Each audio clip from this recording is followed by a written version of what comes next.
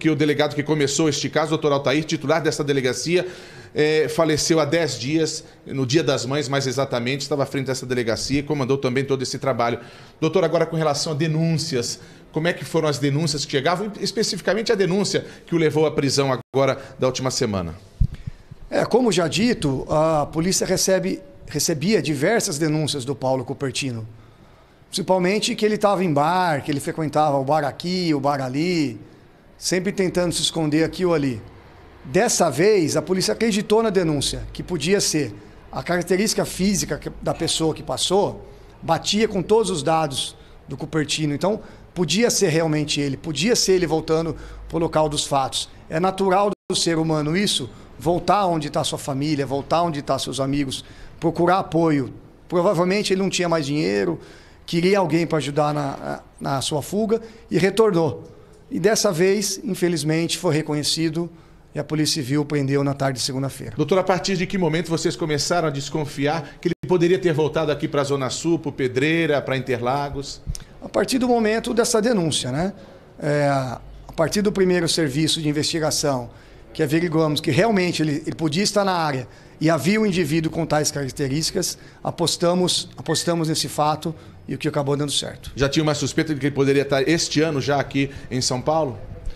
A, a, a pessoa que foge, como conversamos, ela sempre procura voltar e, e sempre próximo. Então as denúncias, uh, sempre que é mais perto, a gente tende a acreditar mais muito melhor do que dizer Cupertino está aqui, está ali. Ele estando mais perto, além de ser mais teoricamente mais fácil de averiguar, tem chance de ser mais verdadeira. E dessa vez era.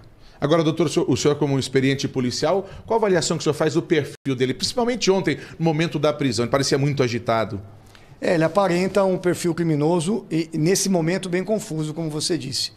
Dizia coisas nem sempre conexas, coisas sem muito, sem muito entendimento, além de ter negado o crime. Aparenta ser uma pessoa fria, tentando se eximir de sua culpa. Quer dizer, ele confessa que é o Cupertino que fugiu durante três anos, mas não cometeu crime algum, segundo ele. Isso mesmo, ele confessa que fugiu por vários anos, nunca disse nada sobre se entregar, mas que não é autor dos crimes que vai provar sua inocência. O que é difícil, mesmo porque é, já está inclusive denunciado pelo Ministério Público. A família dele colaborou durante a investigação, durante os três anos? Somente a, a mãe da menina, os parentes mais próximos, a família dele, a mãe, os irmãos?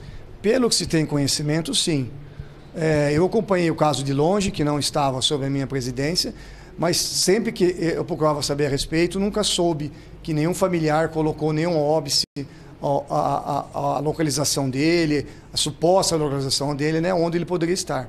É, tanto que a família aparentemente está afastada dele, né? Então, acreditamos que a família sempre colaborou sim. Muito obrigado pela entrevista, Datena. É, parabéns mais uma vez à Polícia de São Paulo. Doutor, parabéns e ainda mais vindo aí com a assinatura do Palumbo, que é meu grande amigo, não é? Está é, provado que o senhor é um, é um, grande delegado mesmo, que os seus delegados, os seus policiais são fantásticos. Parabéns a vocês todos.